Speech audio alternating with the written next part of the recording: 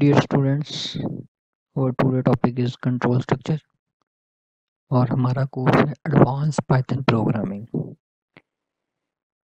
previous lecture में हमने पढ़ा था कि इफ़ क्या होता है और उसकी हमने लिमिटेशंस देखी थी। कि अगर इफ़ की कंडीशन ट्रू तो उसकी जो बॉडी होती है, वो एग्जीक्यूट होती है। और अगर फॉल्स हो तो उस सूरत में कुछ भी नहीं होता। अब उस चीज़ को हमने किस तरीके से हैंडल करना है, वो आज के लेक्चर में हम देखेंगे।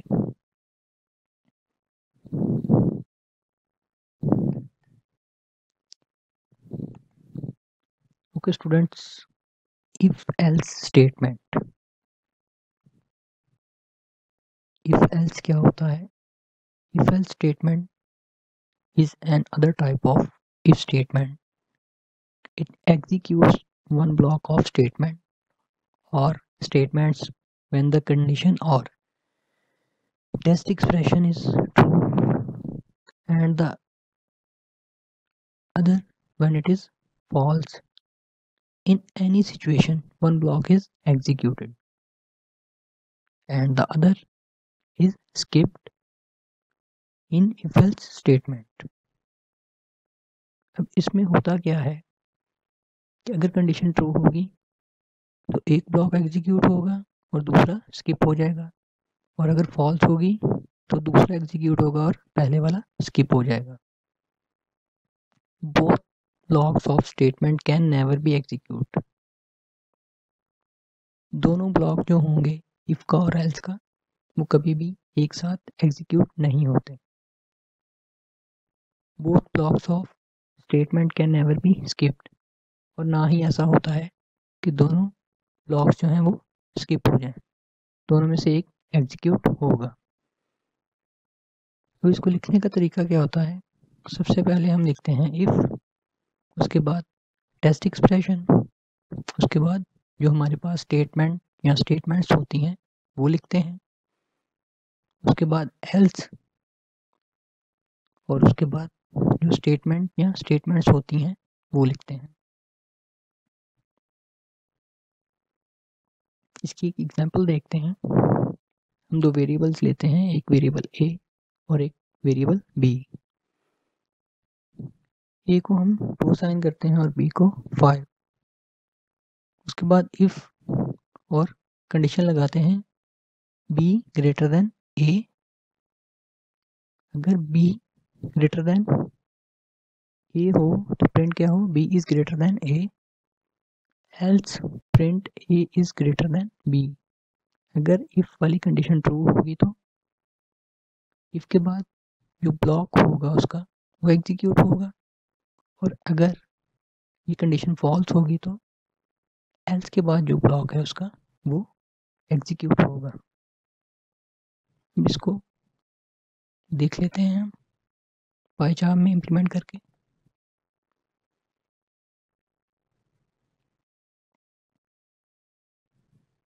ओके स्टूडेंट्स हमने दो वेरिएबल्स लिए। वेरिएबल ए और वेरिएबल बी ए को हमने टू साइन किया और बी को फाइव अब ए जो है वो बी से छोटा है। इसलिए इसके बाद जो कंडीशन है बी ग्रेटर देन ए ये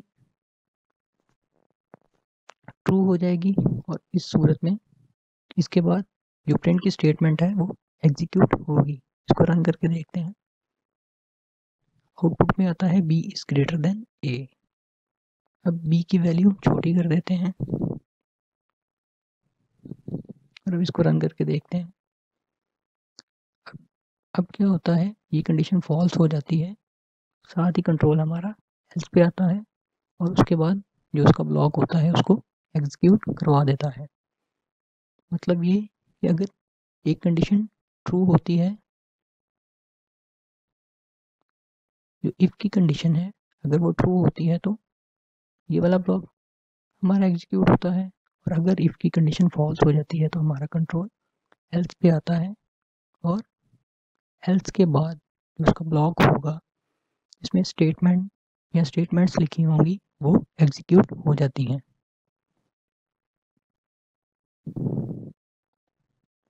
Okay students short hand if अब शॉर्ट हैंड इफ़ क्या है? अब इसको देखते हैं. If you have only one statement to execute you can put it on the same line as the if statement okay students अगर हमारे पास इफ़ कंडीशन के बाद सिर्फ़ एक स्टेटमेंट है तो उसको हम किस तरीके से लिखेंगे, उसकी एग्जांपल देखते हैं। हमारे पास एक वेरिएबल है ए के नाम से। उसको हम वैल्यू साइन करते हैं थ्री और एक बी के नाम से उसको वैल्यू साइन करते हैं फाइव उसके बाद हम इफ़ की कंडीशन लगाते हैं। If A greater than B और print A is greater than B अगर ये कंडीशन ट्रू होती है तो क्या प्रिंट करवाए? A is greater than B students अब हमारे पास सिर्फ़ एक स्टेटमेंट है। इसके बाद वो है प्रिंट की अगर ये स्टेटमेंट्स ज़्यादा हो, अगर हम इसके बाद ज़्यादा इंस्ट्रक्शंस देना चाहते हैं तो फिर हम इस तरीके से इसको नहीं लिखते। फिर हम इंडेंटेशन के थ्रू इसको लिखते हैं। इसकी एग्जांपल देखते हैं।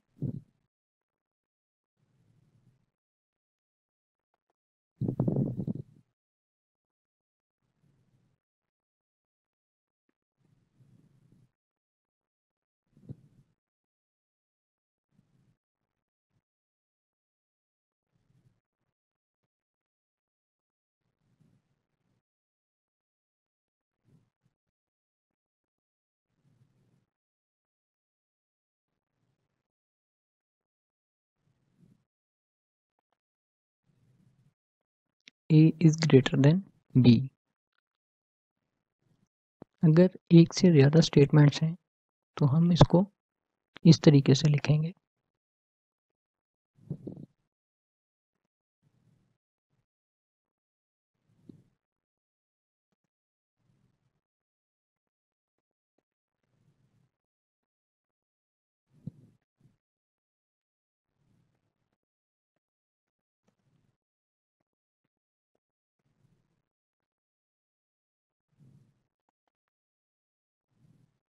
और अगर हमारे पास सिर्फ़ एक स्टेटमेंट है तो फिर हम एक सिंगल लाइन में इसको लिख सकते हैं।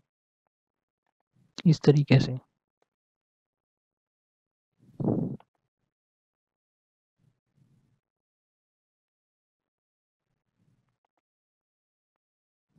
Okay students short hand if else अब जैसे शॉर्ट हैंड इफ़ होता है, उसी तरीके से शॉर्ट हैंड इफ़ और एल्स भी होता है। If you have only one statement to execute one for if and one for else, you can put it on. All on the same line. Okay students इसके लिए सबसे पहले हम इसका सिंटैक्स देखते हैं। सबसे पहले इफ़ की कंडीशन ट्रू होने पे जो चीज़ हमने प्रिंट करवानी होती है, उसको इफ़ से पहले लिखते हैं, उसके बाद टेस्ट एक्सप्रेशन आएगा, उसके बाद एल्स और उसके बाद जो एल्स के बाद हमने प्रिंट करवाना है या जो स्टेटमेंट एग्जीक्यूट करवानी है, हम उसको लिखेंगे। इसको हम टर्नरी ऑपरेटर भी कहते हैं और कंडीशनल एक्सप्रेशन भी कहते हैं।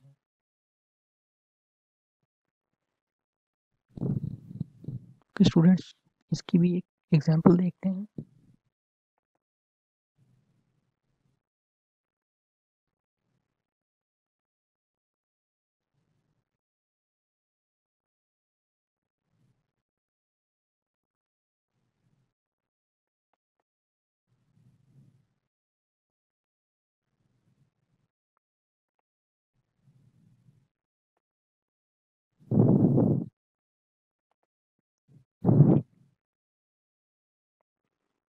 ओके। हम इसको स्लाइड के अंदर ही देखते हैं। इसमें होता ही है कि हम दो वेरिएबल्स लेते हैं, एक वेरिएबल ए और एक वेरिएबल बी वेरिएबल ए को हम टू असाइन करते हैं और वेरिएबल बी को हम टेन असाइन कर देते हैं। उसके बाद हम कंडीशन लगाते हैं कि अगर ए बड़ा है बी से तो प्रिंट क्या हो? कैपिटल ए और अगर ये कंडीशन फॉल्स हो जाती है तो क्या प्रिंट हो? हमारे पास कैपिटल बी अब इसको हम दो तरीके से हैंडल कर सकते थे। हम इफ़ लिखते, उसके बाद कंडीशन लिखते और उसके बाद उसकी स्टेटमेंट लिखते, फिर एल्स लिखते और उसकी स्टेटमेंट लिखते। एक ये तरीका था और एक तरीका है शॉर्ट हैंड इफ़ एल्स जिसमें हम एक ही लाइन में इफ़ और एल्स को लिखते हैं और उसकी स्टेटमेंट्स को भी एक ही लाइन में लिखते हैं। सबसे पहले स्टेटमेंट उसके बाद इफ़ का कीवर्ड फिर वेरिएबल का नेम फिर ग्रेटर देन साइन और फिर वेरिएबल जो दूसरा वेरिएबल है, जिसके साथ हमने इसको कंपेयर करवाना है, वो उसके बाद एल्स उसके बाद प्रिंट और फिर जो चीज़ हमने प्रिंट करवानी है।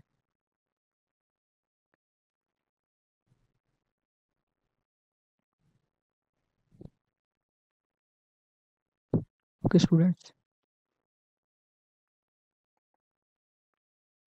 and keyword and the and keyword is a logical operator and is used to combine conditional statements. जब हमने दो या दो से ज़्यादा कंडीशंस को कंबाइन करना हो तो हम क्या करते हैं? एंड का कीवर्ड यूज़ करते हैं। और हमें पता है कि अगर एंड में हम दो वैल्यूज़ देते हैं। अगर दोनों ट्रू हों या दो कंडीशंस देते हैं, दोनों ट्रू हों तो आउटपुट में ट्रू आता है और अगर एक भी फॉल्स हो तो आउटपुट में फॉल्स आ जाता है। हम इसको भी देखते हैं। हमारे पास एक एग्जांपल है जिसमें हमने तीन वेरिएबल्स लिए हैं। वेरिएबल ए बी और सी ए को हमने ट्वेंटी साइन किया है बी को थ्री और सी को फिफ्टी और अब हमने देखना है इनमें से, तीनों में से बड़ी वैल्यू किसकी है? If a greater than b and c greater than a. अगर ए बड़ा है बी से और सी बड़ा है ए से तो क्या होगा? बोथ कंडीशंस आर ट्रू दोनों कंडीशंस क्या होंगी? ट्रू हो जाएँगी। और अगर इनमें से एक भी कंडीशन फॉल्स होती है, सूरत में इफ़ के बाद जो स्टेटमेंट है, वो एग्जीक्यूट नहीं होती। इसको हम एग्ज़ाम्पल में देखते हैं।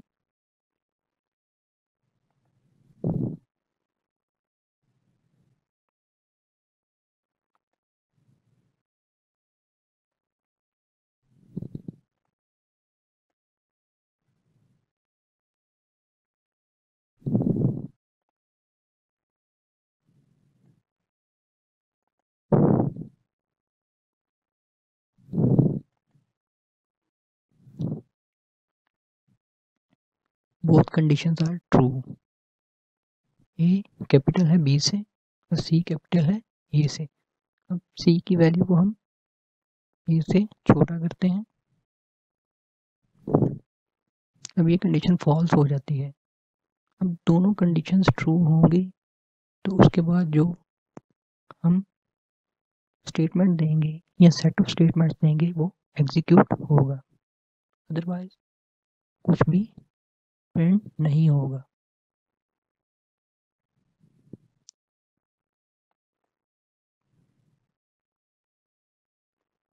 एंड के बारे में हम पहले भी क्लास में डिस्कस कर चुके हैं। अब आते हैं और की तरफ़। और में क्या होता है? द और keyword is a logical operator and is used to combine conditional statements okay और में अगर दोनों में से एक कंडीशन भी ट्रू हो तो कंडीशन क्या होती है? ट्रू हो जाती है। अगर दो कंडीशंस हैं, दोनों में से एक ट्रू होगी तो आउटपुट में हमारे पास ट्रू आएगा। और अगर दोनों फॉल्स होगी तो आउटपुट में फॉल्स आता है।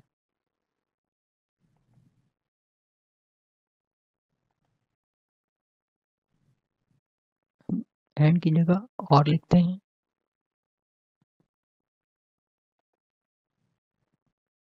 अब एग्जीक्यूट करने पे एक कंडीशन ट्रू हो रही है, जिसमें ए कैपिटल है बी से, और दूसरी कंडीशन फॉल्स हो जाती है सी कैपिटल ए और एक कंडीशन ट्रू होने पे हमें आउटपुट ट्रू मिलती है, और जैसे ही ये ट्रू होता है तो हमारा कंट्रोल इधर आता है और print both conditions are true को प्रिंट करवा देता है स्क्रीन पे। अब दोनों कंडीशन को फॉल्स करके देखते हैं।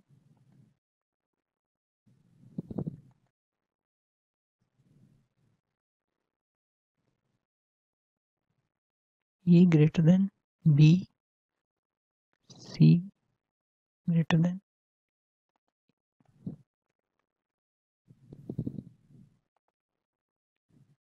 जैसे ही दोनों कंडीशन फॉल्स होती हैं तो आउटपुट में हमारे पास कुछ भी नहीं आता।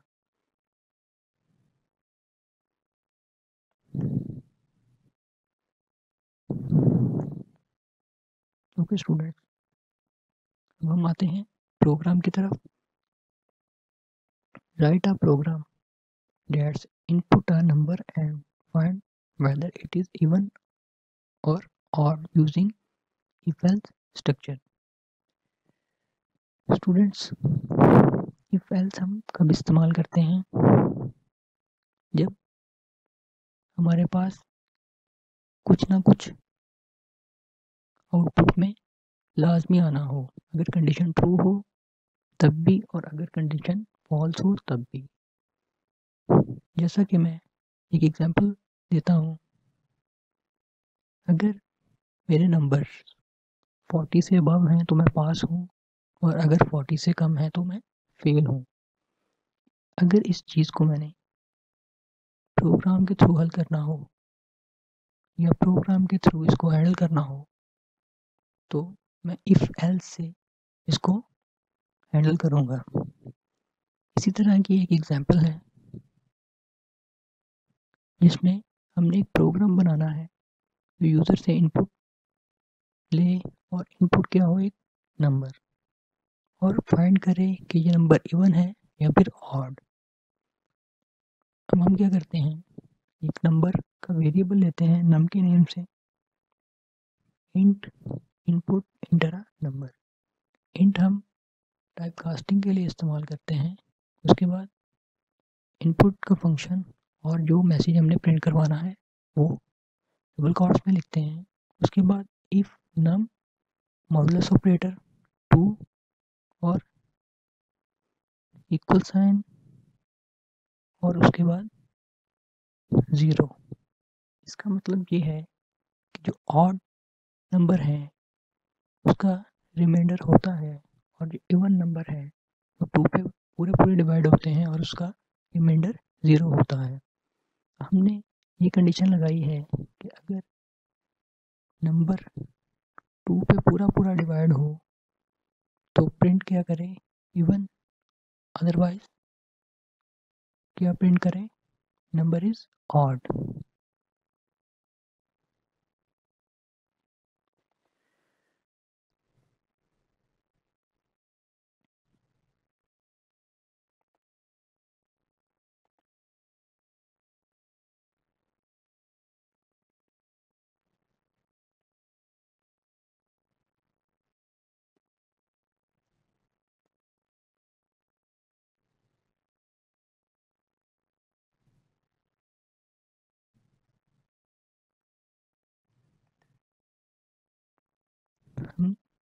प्रोग्राम को रन करते हैं।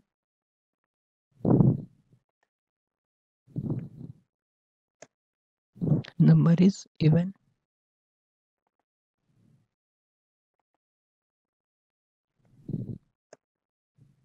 number is odd इसमें क्या होता है? अगर ये कंडीशन ट्रू होती है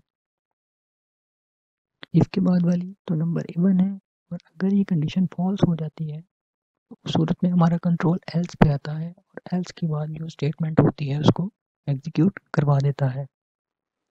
स्टूडेंट्स जो इस तरह के हमारे पास प्रॉब्लम्स होती हैं, उनको हम इफ़ एल्स की मदद से सॉल्व करते हैं या हैंडल करते हैं। एक और एग्जांपल देखते हैं इसकी।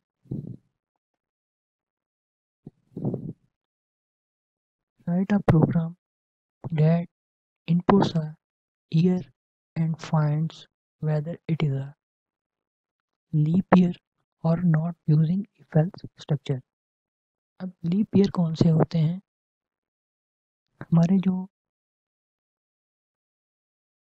ईयर होता है उसके अंदर 365 डेज़ होते हैं हर चार साल बाद एक ईयर आता है जिसको हम लीप ईयर कहते हैं जिसमें 366 डेज़ होते हैं। जैसे हमारे पास 2004, 2008 और 12 लीप ईयर हैं। और ये वो ईयर्स हैं जिनको अगर हम फोर पे डिवाइड करें तो इसका रिमाइंडर ज़ीरो आता है। ये प्रोग्राम बनाने के लिए हम सबसे पहले क्या करते हैं? एक ईयर का वेरिएबल लेते हैं। उसके बाद इंट इनपुट इंटर ईयर अब इंट हम टाइप कास्टिंग के लिए यूज़ करते हैं। अगर हम इंट नहीं लगाते तो ईयर को एक स्ट्रिंग कंसीडर किया जाएगा। इसलिए हम इंट यूज़ करते हैं टाइप कास्टिंग के लिए। उसके बाद हम इफ़ की कंडीशन लगाते हैं। If year modulus operator four और इक्वल टू ज़ीरो अगर ईयर 2004 होगा वो फोर पे डिवाइड होगा और उसका मॉडुलस ज़ीरो आएगा, और प्रिंट क्या होगा? इज़ अ लीप ईयर और अगर हमारे पास ईयर 2003 होगा, उस सूरत में क्या होगा? ये कंडीशन फॉल्स होगी और हमारा कंट्रोल एल्स पे आएगा। और प्रिंट क्या होगा? Is not a leap year students आज के लेक्चर में हमने इफ़ एल्स को देखा और हमने देखा शॉर्ट हैंड इफ़ और शॉर्ट हैंड इफ़ एल्स को हम किस तरह से हैंडल करते हैं और इफ़ एल्स हम कब यूज़ करते हैं।